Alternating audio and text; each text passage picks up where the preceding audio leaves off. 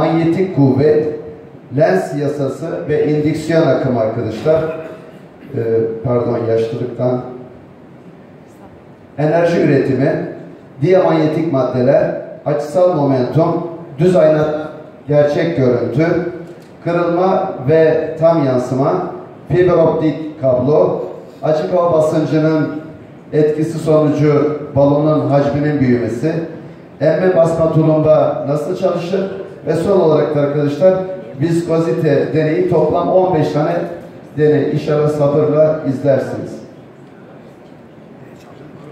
Şimdi önce klasik bir bobin işte arkadaşlar. Sarım sayısını bilmiyorum. Üstünde de yazıyor ama öğrenci genelde şunu sorar. Ya hocam nasıl oluyor da akım geçen telin etrafında manyetik alan oluşuyor? Tabi bu deney onunla ilgili değil ama onun biraz teferruatı fazlaydı. Getiremedim. Ben Adana'dan bazı malzemeleri getirdim arkadaşlar. Yani Adana'da oturuyorum da Mersin'de getirdim. E, bu da aynı şeyi ifade ediyor. Şu gördüğünüz bobin Arkadaşlar buna ben doğru akım veriyorum ve en fazla 6 volt veriyorum. Düğmeyi açtım. Kendini toparladı. Zannedersem bu solaların hareket ettiğini gördünüz. Ya da bu solaların tekrar hareket edip görebilmeniz için akımı sıfırlıyorum. Bu solalar dönüyor. Akımı tekrar verdiğim zaman arkadaşlar bu solalar belli bir manyetik alanın yönünü gösteriyor. Klasik sağ kural işte ak akım artıdan eksiye doğru diyorsunuz. Dört parmak manyetik alan, baş parmak alan. Şu anda benim baş parmağım en kutbu. Buradaki beyaz olan arkadaşlar e, pusula S kutbu. Bu şekilde LS, LS olarak manyetik alan bir taraftan diğer tarafa geçiyor. Bu birinci deneyimizdi. İkinci deneyimiz öğrenciler tarafından çok sevilen bir şey. Şimdi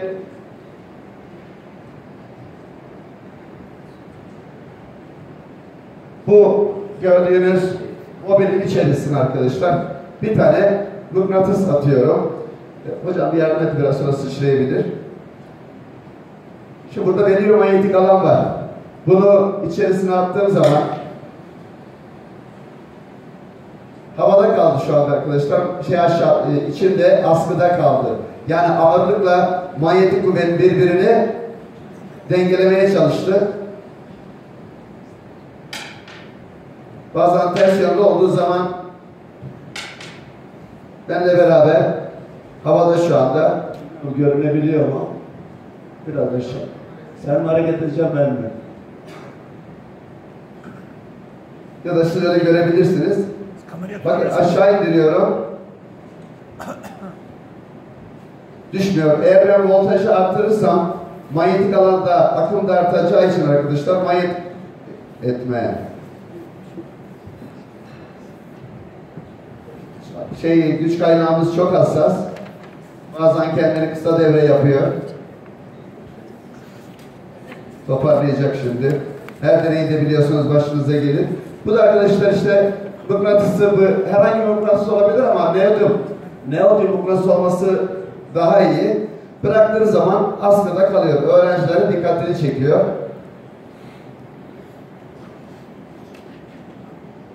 Bir de şu elektromıknatıs kavramı. Gerçi çocuklar ilkokuldan bu yana yani işte demir çivin üzerine bobin teline sarıyorlar.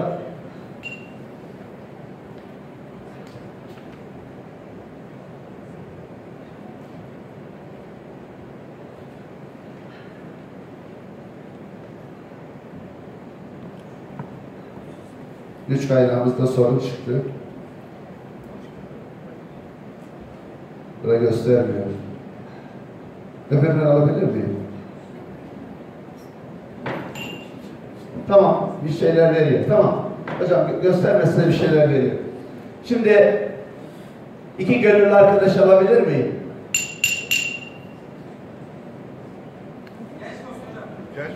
Gel gel Şerif, en gencimiz sensin çocuğum.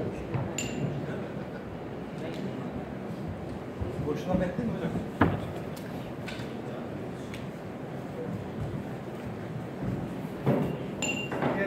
Güç kaynağı kendini kapattı. Öbür üç ayını alabilir miyim? Arkadaşlar işte bazı deneylerde bu sorunlar var.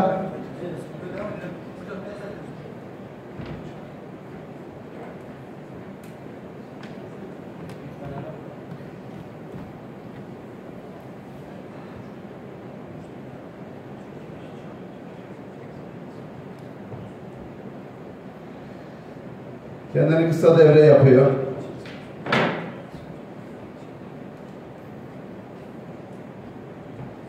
Hocam bunu ayırabilir misiniz karşılıklı? Yani hissetmeniz anlamında söylüyorum. Mutlaka yapılır ama çok büyük bir kuvvet uygulama. Hissettiniz mi? Tekrar yerleştirelim. Kuvveti hissediyorsunuz.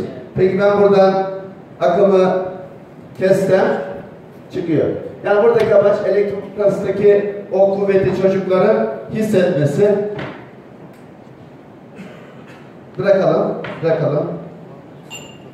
Kendinizden bakınız. Çek hocam. Voltajı fazla arttıramıyorum. En fazla 6 volt verebiliyorum. Bobinin yanmasından korkuyorum. Tamam hocam sağ olun. Teşekkür ederim sağ olun.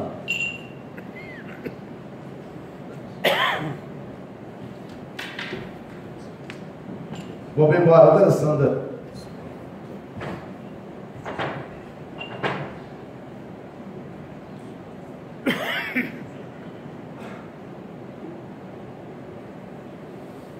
Şimdi transformatörde yüksek gerilim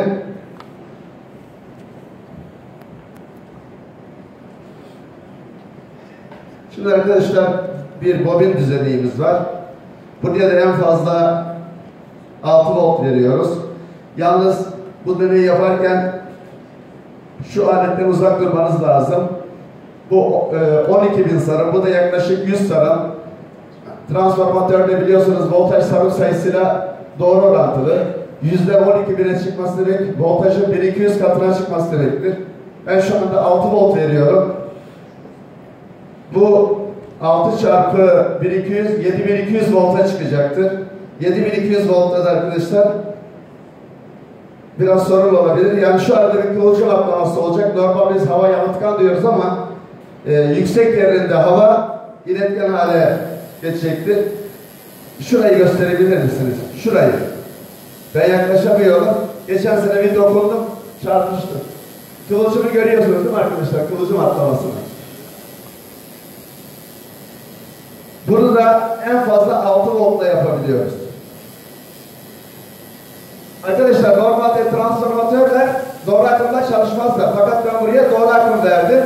Alternatif akımda çalışırlar. Fakat şuradaki e, böyle yani elektromıknatıs e, devreyi açıp açıp kapattığı için e, sanki akım artıp azalıyormuş gibi, manyetik akı değişiyormuş gibi hissettiği için böylece voltajı arttırmış oluyorsunuz.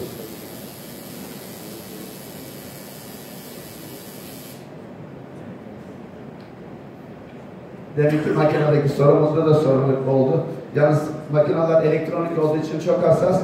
Kendi kullandıklarında elektronik devre yoktu. Ama sonuçta deney sırasını karıştırmayın diye. Bir de gelelim manyetik kuvvete. Hocam şunu alsanız.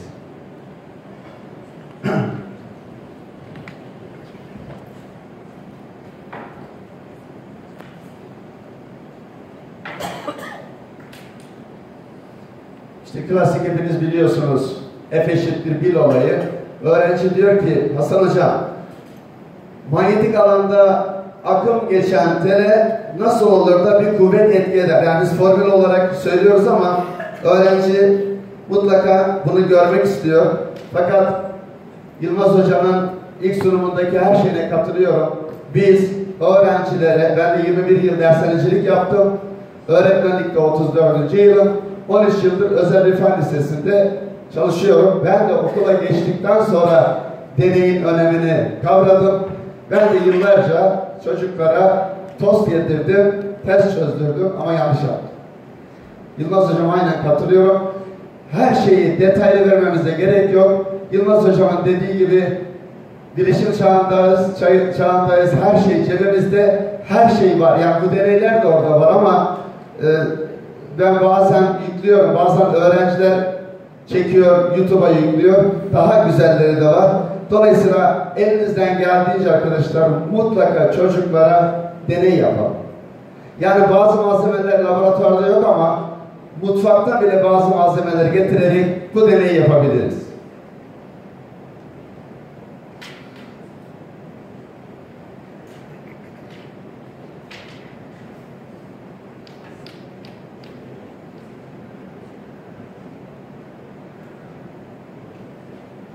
Şimdi bu büyük mıknatıs çoğularda yok. Fakat e, hoparlörlerin arkasından söktüm ben, laboratuvara bıraktım. 12-13 yıldır ben bunu laboratuvarda kullanıyorum. Bir eskiciye deseniz ki ya da bir radyo tamircisine deneyde kullanacağım deseniz bütün esnaf deney ya da okul deyince para almadan her şeyi size